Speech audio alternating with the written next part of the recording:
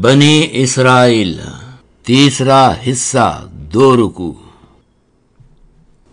اور ہم نے اس قرآن میں طرح طرح کی باتیں بیان کی ہیں تاکہ لوگ نصیحت پکڑیں، مگر وہ اس سے اور بدک جاتے ہیں۔ کہہ دو کہ اگر اللہ کے ساتھ اور معبود ہوتے جیسا کہ یہ کہتے ہیں، تو وہ ضرور مالک عرش کی طرف رستہ نکالتے۔ وہ پاک ہے اور جو کچھ یہ بکواس کرتے ہیں اس سے بہت اعلیٰ ہے۔ ساتوں آسمانوں اور زمین اور جو لوگ ان میں ہیں سب اسی کی تسبیح کرتے ہیں۔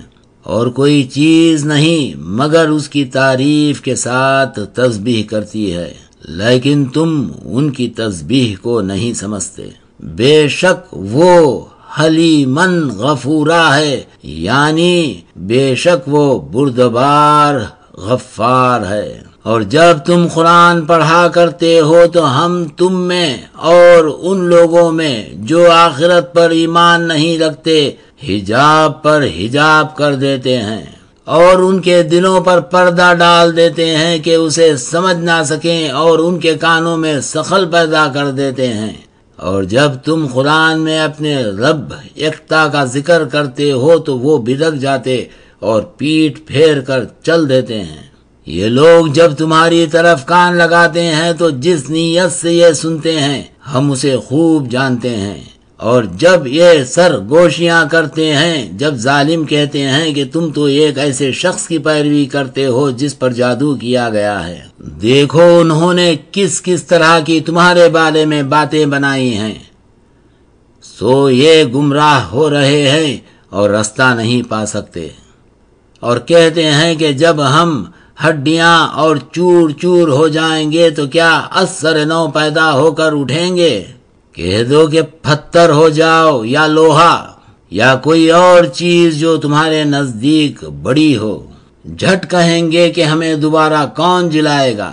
کہہ دو کہ وہی جس نے تم کو پہلی بار پیدا کیا۔ تو تمہارے آگے سر ہلائیں گے اور پوچھیں گے کہ ایسا کب ہوگا۔ کہہ دو امید ہے کہ جلد ہوگا۔ جس دن وہ تمہیں پکارے گا، تو تم اس کی تعریف کے ساتھ جواب دو گے اور خیال کرو گے کہ تم بہت کم رہے۔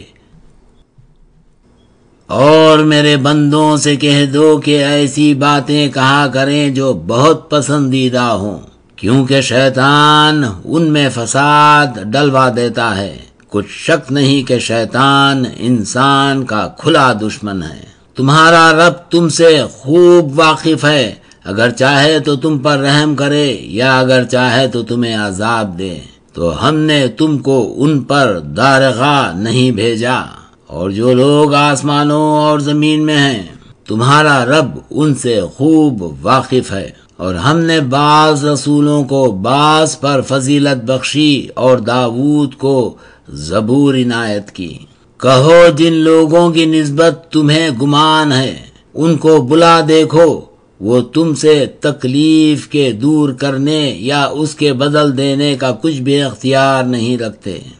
یہ لوگ جن کو پکارتے ہیں، وہ خود اپنے رب کے ہاں ذریعے تلاش کرتے رہتے ہیں کہ کون ان میں زیادہ مخرب ہے۔ اور اس کی رحمت کے امیدوار رہتے ہیں۔ اور اس کے عذاب سے خوف رکھتے ہیں۔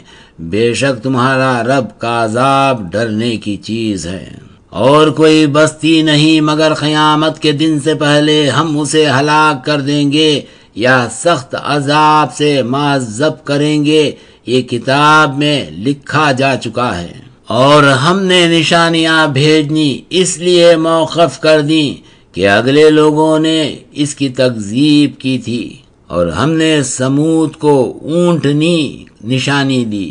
تو انہوں نے اس پر ظلم کیا اور ہم جو نشانیاں بھیجا کرتے ہیں تو ڈرانے کو۔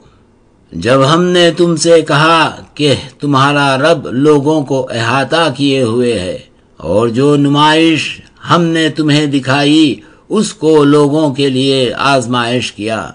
اور اسی طرح درخت کو یعنی تو ہر کے درخت کو جس پر قرآن میں لانت کی گئی اور ہم انہیں ڈراتے ہیں تو ان کو اس سے بڑی سرکشی پیدا ہوئی ہے۔